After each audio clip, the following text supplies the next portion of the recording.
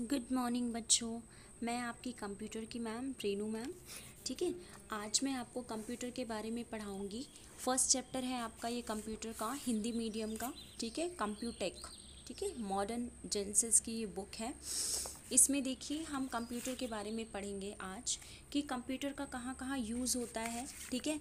Data processing परिणाम जो इसके होते हैं इनपुट क्या होता है आउटपुट क्या होता है कहाँ कहाँ देखिए मैम पढ़ा रही है ना कंप्यूटर ठीक है क्लास में तो कहाँ कहाँ यूज़ होता है, इसका कैसे कैसे यूज़ होता है स्कूल में, ठीक है? इसके पार्ट्स के बारे में जैसे मॉनिटर है सीपीयू है स्पीकर है टी बोर्ड है। गुड मॉर्निंग स्टूडेंट्स मैं आपकी कंप्यूटर की मैम हूँ रेनू मैम ठीक है?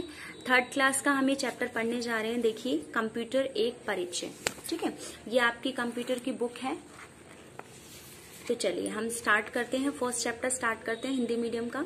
कंप्यूटर एक इलेक्ट्रॉनिक मशीन होती है और इसे कार्य करने के लिए बिजली की ज़रूरत होती है।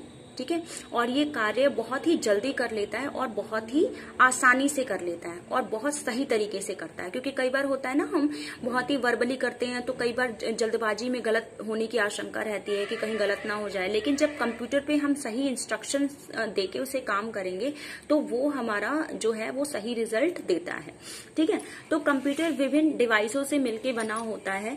जैसे कि आप पहले ही पढ़ चुके हैं कि इलेक्ट्रॉनिक डाटा प्रोसेसिंग मशीन है।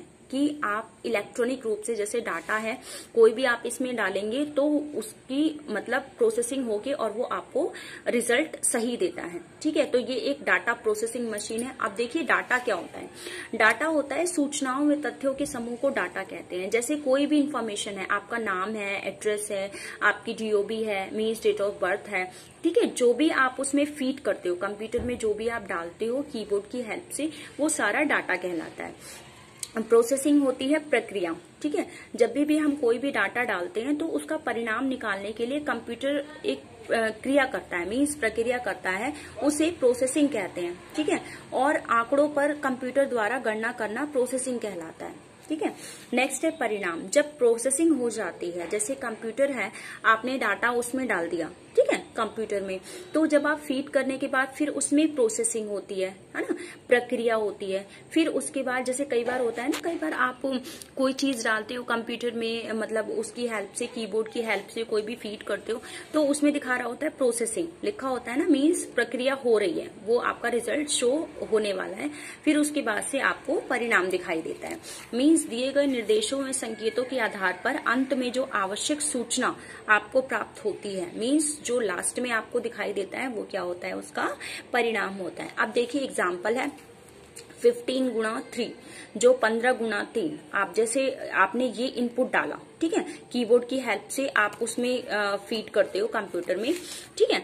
और फिर उसके बाद से उसकी प्रोसेसिंग होती है, ठीक है? जब आप करते हो, फिर इसके बाद से आपको जो रिज़ल्ट दिखाई देता है, ये प्रोसेसिंग हो गई, ये आपने इंस्ट्रक्शन दिया ठीक है, ये आपने उसमें डाला और फिर उसके बाद से जो रिज़ल्ट दिखाई देता है फोर्टी फाइव फिफ्टीन गुना थ्री कितना होता है? फोर्टी फाइव मीन्स पैंतालीस, ठीक है? अब इनपुट क्या होता है? कंप्यूटर में डाटा डालने की जो प्रक्रिया होती है, वो क्या कहलाती है? इनपुट स्टोरेज क्या होता है? देखिए, आप कंप्यूटर कीबोर्ड या माउस की हेल्प से कंप्यूटर में डाटा डालते हो। कोई भी इंफॉर्मेशन है नाम है कुछ भी डालते हो तो वो अपनी मेमोरी में सेव कर लेता है मीन स्टोर कर लेता है और उसे अस्थाई और स्थायी रूप से स्टोर किया जा सकता है। आप चाहें तो कुछ आ, मतलब दिनों के लिए भी कर सकते हैं कुछ मिनटों के लिए भी कर सकते हैं आप डिलीट भी कर सकते हैं और उसे हमेशा के लिए उसमें रख भी सकते हैं। ठीक है? तो इसे स्टोरेज कहते हैं। नेक्स्ट है आपका देखिए आउटपुट आउटपुट क्या होता है? कि कंप्यूटर के मॉनिटर पर दिखने वाला परिणाम जो होता है, जैसे ये है, ठीक है? वो आउटपुट कहलाता है. देखिए एग्ज़ाम्पल दिया हुआ है, ये हो गया इनपुट इसकी हेल्प से आपने कुछ भी फ़ीड करा, ठीक है? कंप्यूटर में आपने इंस्ट्रक्शन दिया. इसमें होती है प्रोसेसिंग प्रक्रिया होती है. उसके बाद आपको जो रिज़ल्ट दिखाई देता है टॉय स्टोरी है ये, ठीक है? तो इसमें जो आपको रिज़ल्ट दिखाई देता है, वो होता है आपका आउटपुट ठीक है? आपने मूवी डाली मूवी का नाम डाला इसमें, ठीक है कि ये मूवी हमें देखनी है। इसमें प्रोसेसिंग होती है और उसके बाद आपको रिज़ल्ट यहाँ दिखाई देता है स्क्रीन पे, ठीक है? नेक्स्ट है देखिए कि कंप्यूटर के गुण, इसके फीचर्स क्या क्या होते हैं? कंप्यूटर के कई फ़ायदे होते हैं और यह इतना लोकप्रिय है। जैसे कंप्यूटर कभी थकता नहीं है, कभी टायर्ड नहीं होता और आप इसे जितना मर्ज़ी काम कर सकते हैं, जितनी बार काम कर सकते हैं। अगर आप एक ही पंक्ति को सौ बार लिखना चाहें तो आप लिख सकते हो। कंप्यूटर कभी भी उबता नहीं है। होता है ना, कई बार हम एक ही काम को दस बार करते हैं तो हम भी उब जाते हैं करते करते है ना, सुबह से शाम तक बैठे बैठे लेकिन कंप्यूटर है, आप उसे जितना मर्ज़ी काम ले लें, वो कभी भी थकता नहीं है। ठीक है? और वो मनुष्य से ज़्यादा तीव्र गति से भी करता है मीन्स तेज़ी से भी करता है।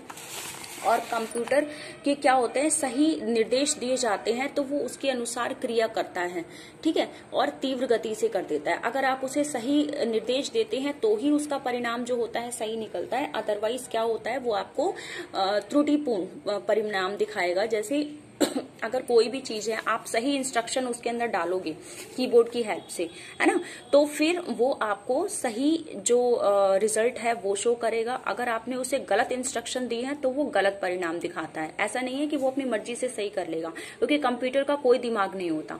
कंप्यूटर हमारे दिमाग से चलता है मीन्स उसे ऑपरेट करना पड़ता है। अगर आपने सही तरीके से उसे इंस्ट्रक्शन नहीं दी है तो उसका रिज़ल्ट भी आपको सही नहीं मिलेगा। तो कंप्यूटर के उपयोग देखिए कहाँ कहाँ होते हैं। स्कूलों में, घरों में प्रोजेक्ट कार्य बनाने में और सूचनाओं को स्टोर करने के लिए इसका यूज़ किया जाता है है ना? स्कूल्स में भी है, जैसे घर में भी है तो हम बहुत बार इसका यूज़ करते हैं। और कंप्यूटर का यूज़ कार्यालयों में, जैसे ऑफ़िस वगैरह में हिसाब किताब रखने में, डाटा रखने में कोई फ़ाइल है या वैसे है, उसे सेव करने के लिए इसका यूज़ होता है। एटीएम बैंक में भी इसका यूज़ होता है, ठीक है?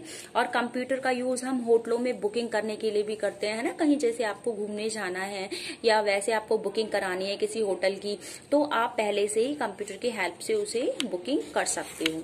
ठीक है? व्यापार करने के लिए भी, या कंप्यूटर का यूज़ जो है रेलवे में, हवाई जहाज़ में, उसकी जानकारी या आरक्षण करवाने के लिए जो रिजर्वेशन कराते हैं, हम पहले से हो जाते हैं ना रिजर्वेशन आप कहीं घूमने जा रहे होते हैं तो तो उसकी भी हमें कंप्यूटर की हेल्प की ज़रूरत पड़ती है। और कंप्यूटर का यूज़ हम फ़िल्मों में विशेष प्रभाव, जैसे कि इफ़ेक्ट डालने में हम करते हैं, जैसे संगीत है या खेल है मनोरंजन है, ठीक है? इसके लिए हम इसका यूज़ करते हैं। नेक्स्ट है, देखिए कंप्यूटर का यूज़ हम लाइब्रेरी में भी करते हैं। पुस्तकों के आंकड़े रखने में भी इसका यूज़ किया जाता है। और नेक्स्ट है कंप्यूटर का यूज़ हम मौसम के पूर्वानुमान के लिए भी करते हैं, है ना? सैटेलाइट्स जो होते हैं, इसके थ्रू हम जानते हैं कि आज का मौसम कैसे होने वाला है, आंधी है, तूफ़ान है, ठीक है? तो ये सारी जानकारी हमें इससे मिलती है। अब देखिए, कुछ विशिष्ट कंप्यूटर भी होते हैं। कुछ ऐसे कंप्यूटर भी होते हैं स्पेसिफिक जिनका यूज़ हम अंतरिक्ष में, वास्तुकला के क्षेत्र में और पुलिस द्वारा किया जाता है। ठीक है साइबर सेल है, जैसे कि साइबर क्राइम है, या फिर स्पेस में उसका यूज़ होता है सैटेलाइट्स वगैरह के बारे में जानने के लिए, कुछ ग्रहों प्लैनेट्स के बारे में जानने के लिए, है ना? तो कुछ वो विशिष्ट कंप्यूटर होते हैं। नेक्स्ट है देखिए कंप्यूटर के भाग। अब हम पढ़ेंगे कंप्यूटर के कितने पार्ट्स होते हैं। अब देखिए ये है कीबोर्ड है माउस है स्पीकर्स है मॉनिटर है सीपीयू है, ये कंप्यूटर के पार्ट्स होते हैं। तो कंप्यूटर कई भागों से मिलकर बना होता है। यह इनपुट आउटपुट प्रक्रिया पर कार्य करता है और इसके कुछ भागों पर इनपुट डिवाइस और कुछ को आउटपुट डिवाइस भी कहते हैं। ठीक है? तो आज देखिए बेटा हम इतना ही पढ़ेंगे। ये आपके क्वेश्चन है जो आपको करने हैं। कंप्यूटर किसे कहते हैं और कंप्यूटर को इलेक्ट्रॉनिक डाटा प्रोसेसिंग मशीन क्यों कहा जाता है और कंप्यूटर के पाँच उपयोग बताइए। ठीक है? और रिक्त स्थान ये आपको फिल करने हैं। कंप्यूटर एक डैश डिवाइस है यहाँ से लेके और यहाँ तक। तो ये आपका होमवर्क है बच्चों। हम नेक्स्ट क्लास में मिलते हैं तब तक। ठीक है?